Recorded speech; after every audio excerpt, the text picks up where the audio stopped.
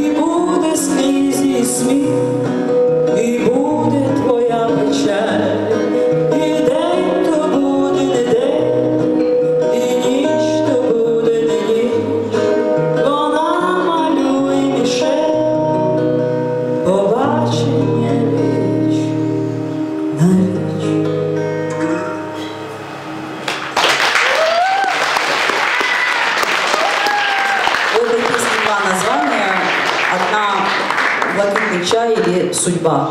Потому что тут в этой песне человек встречается со своей судьбой, ну, рано или поздно у каждого есть такие моменты в жизни.